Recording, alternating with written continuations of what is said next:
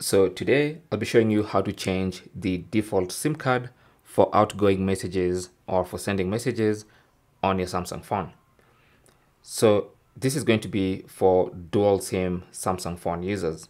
So if you go into settings and then under settings, go to connections and then under connections, go to SIM manager, you can see I have two SIM cards.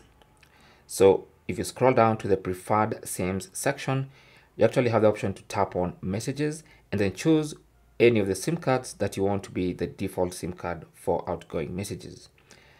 Now, no matter which SIM card you choose, you can always change that in different conversations. So for instance, if you go into the messages app and you find a specific conversation,